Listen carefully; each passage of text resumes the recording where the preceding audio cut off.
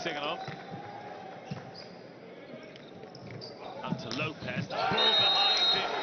His hand timed up, I think, before, but Grozdanov. Here's Nikolov.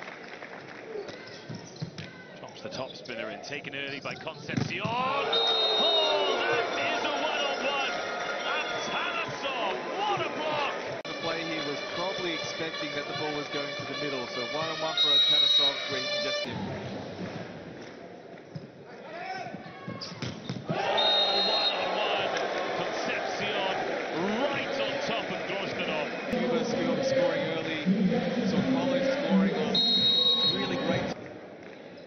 Nikolov up to 18 points.